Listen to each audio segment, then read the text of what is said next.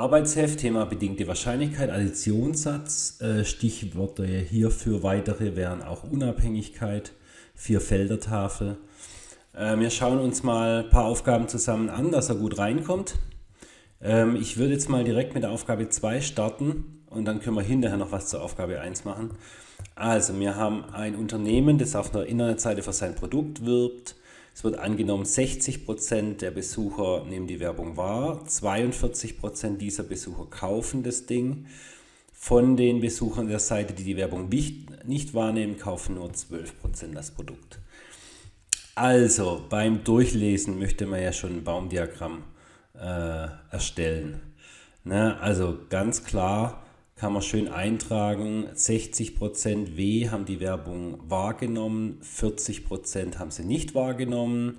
Und jetzt sind wir bei denen, die die Werbung wahrgenommen haben, von denen kaufen 42% das Produkt, 58% dann eben nicht. Und von denen, die die Werbung nicht wahrgenommen haben, nur 12%. Ja? Also schon mal auf den ersten Blick ohne Rechnung ähm, sieht schon so aus, als ob die Werbung schon einen Effekt hätte. Ne? Okay, also soweit klar. Ähm, jetzt geht es darum, dass ihr die Informationen in eine Vierfelder-Tafel übertragt. Ziel der Aufgabe ist die, dass ihr den Zusammenhang zwischen den beiden Instrumenten lernt. Baumdiagramm, Vierfelder-Tafel. Ja? Also, was ihr direkt eintragen könnt, 60% der Besucher nehmen die Werbung wahr. Hier kommt hier die 0,6 rein. 40% nehmen die Werbung nicht wahr, kommt hier in die 0,4 rein. Aber eben hier zum Beispiel, wie viel Prozent der Kunden kaufen denn das Produkt jetzt, kann ich aus den Informationen im Text oben und hier aus, der, aus dem Baumdiagramm kann ich nicht angeben. Die, die 30%, 70% kann ich momentan noch nicht angeben. Ja, also ihr seht schon, es gibt so die Wahrscheinlichkeiten, die hier außen stehen, die stehen hier auf der ersten Stufe. Und jetzt gucken wir die Innenwerte an. Schauen wir uns mal, wenn ich mir jetzt überlegt, ähm, wie viel Prozent der Kunden nehmen denn die Werbung wahr und kaufen das Produkt? Da würde ich doch dann eben rechnen 0,6 mal 0,42 würde rauskommen 0,252. Also so eine Pfadwahrscheinlichkeit, die ich am Ende ausrechne durch Pfadmultiplikation, das ist genau die Wahrscheinlichkeitsangabe, die hier in den Innenfeldern der Vierfeldertafel steht. Ne? Da seht ihr ja schön die Rechnung, die 0,252. Und so komme ich auf die anderen Ergebnisse, zum Beispiel WK-06 mal 058, die 0,348, die errechnet sich hier aus dem Baumdiagramm. Ja, also ihr seht schon, ähm, man könnte es jetzt schön farbig machen. Ich mache es mal sozusagen live. Man hat so verschiedene Wahrscheinlichkeitsangaben, ne? die außen stehenden Wahrscheinlichkeitsangaben, die be beziehen sich auf die Grundmenge, auf alle, ja, und gucken halt nach einer Kategorie hier. Und dann gibt es noch die Wahrscheinlichkeitsangaben, die man hier ausrechnet unten. Das sind genau die, die in der Vierfelder-Tafel innen drin stehen. Ja? So, das heißt, und ihr müsst dann halt bei Aufgaben oft entscheiden, welches Instrument ist denn jetzt besser. Äh, geht ihr eher mit einer Vierfelder-Tafel vor oder eher mit einem Baumdiagramm?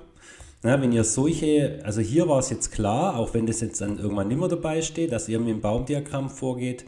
Na, ähm, also es wird angenommen, dass 60% der Besucher der Seite die Werbung wahrnehmen und 42% dieser Besucher die, das Produkt kaufen. Ne? Wenn praktisch diese 42% bezieht sich nur noch auf diejenigen, die die Werbung wahrgenommen haben, auf eine selektierte Grundmenge, nimmer auf alle.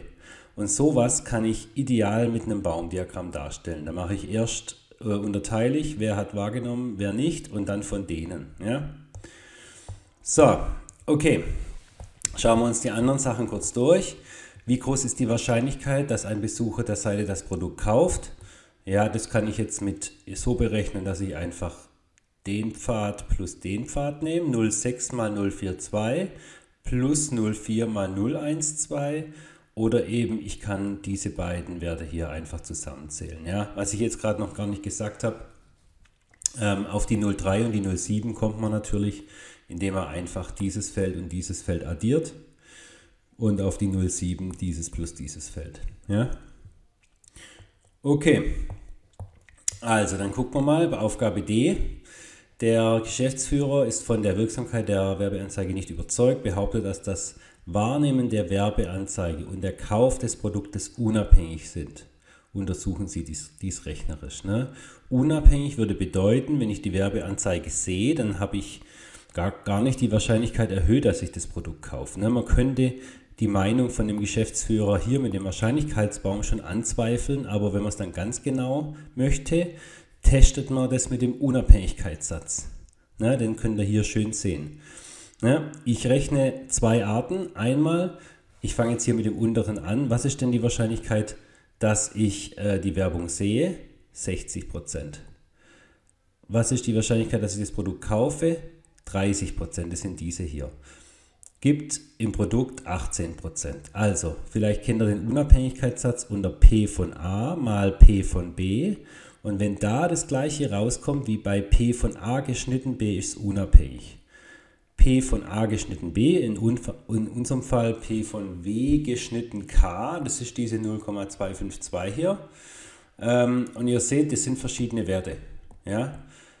Also ist abhängig also es gibt eine Abhängigkeit. Man kann also sagen, die Werbeanzeige ist wirksam. Okay? Also das heißt, nur wenn da genau das gleiche rauskommt, ist unabhängig, sonst abhängig. Eine Sache noch, äh, ein Besucher der Internetseite hat das Produkt gekauft. Wie groß ist die Wahrscheinlichkeit, dass er die Anzeige wahrgenommen hat? So, jetzt ist auch wieder so, das ist jetzt eine bedingte Wahrscheinlichkeitsaufgabe. Äh, ihr wisst von dem Besucher, dass er das Produkt gekauft hat. Ne? Das ist nichts, na, nachdem gefragt ist oder sowas, das ist schon mal klar. Ne? Das heißt, ihr habt, ihr sucht die Wahrscheinlichkeit, mit welcher Wahrscheinlichkeit hat er denn die Werbung wahrgenommen, aber es ist bekannt, dass er das Produkt gekauft hat. Eine bedingte Wahrscheinlichkeit. So, und die Grundmenge bezieht sich dann natürlich nur auf die, die das Produkt gekauft haben. Das ist der Nenner, ist die Grundmenge. Wie viel sind denn das? 30 Prozent. Hier. Und wie viel ähm, Prozent gehören natürlich zur Grundmenge und haben aber auch die Werbung gesehen. Das sind diese 0,252. Ja, und dann, wenn man das äh, in Quotient bildet, kommt 0,84 raus. Ja, das heißt, von jemand, ähm, der das Produkt gekauft hat, ich, kann ich mit hoher Wahrscheinlichkeit äh, sagen, dass er auch die Werbung gesehen hat. Ne? Zum Beispiel diese Zahl könnte dann die Marketingabteilung auch zu dem Geschäftsführer als Argument bringen. Okay, also eine wichtige Aufgabe, weil ihr seht die Unabhängigkeit, ihr seht eine bedingte Wahrscheinlichkeit, ihr seht den Zusammenhang zwischen Baumdiagramm für Feldertafel. Ja? Okay, also hier noch kurz, ne, nur ich sage jetzt vielleicht, sonst bearbeite ich das Arbeitsheft ja und nicht ihr. Ne? Ihr seht schon, P von A geschnitten D, das sind natürlich diese Innenfelder, was man hier ausrechnet. Hier ist jetzt wieder eine Wahrscheinlichkeit, eine bedingte Wahrscheinlichkeit gegeben. Ne, da braucht er im Prinzip wieder die, diese Formel hier von unten. So, also hier ist die Vorbedingung, dass die Eigenschaft D erfüllt ist. Das heißt, die Grundmenge besteht auf 15%.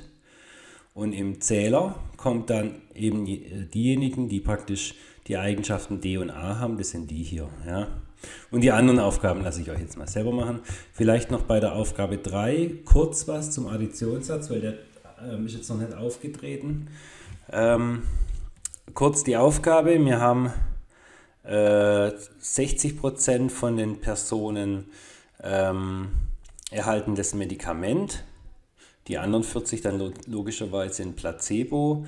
Nach zwei Tagen geben 85% der Probanden an, dass sie Besserung verspüren würden. 51% hatten das Medikament eingenommen und verspüren Besserung. Ja? Also, ähm, mit welcher Wahrscheinlichkeit hat eine zufällig ausgewählte Person das Medikament eingenommen oder verspürt Besserung? Ja? Ähm, das ist der Additionssatz.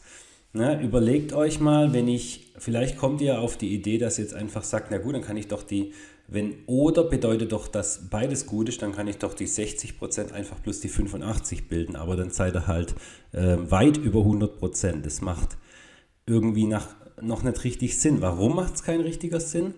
Ich finde, an der Vierfelder-Tafel kann man es schön entdecken. Ne? Ähm, wir haben P von M, ne? das sind praktisch diese 60%, die kommen hier rein. und die 85% kommen hier rein. Die 60% setzt sich doch aber zusammen aus dem plus dem Wert. Die 85 aus dem plus dem Wert. Und wenn ich jetzt 60 plus 85 bild, dann rechne ich den Wert plus den Wert, nochmal plus den Wert plus den Wert. Einmal zu viel hier.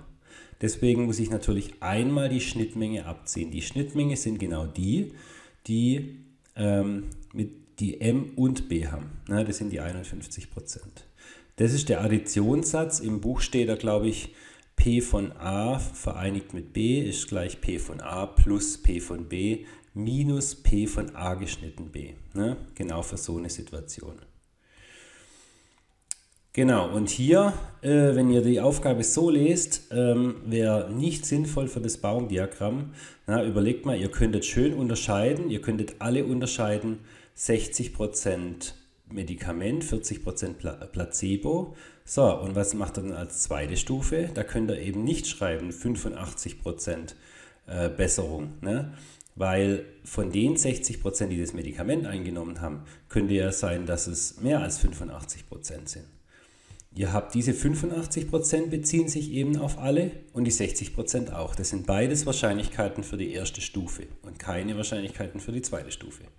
Anders wie bei der Aufgabe 2. Ne? Also so, das wäre jetzt eine typische Aufgabe für äh, die Vierfeldertafel. Also, dann würde ich euch jetzt mal die letzten Aufgaben voll alleine machen lassen.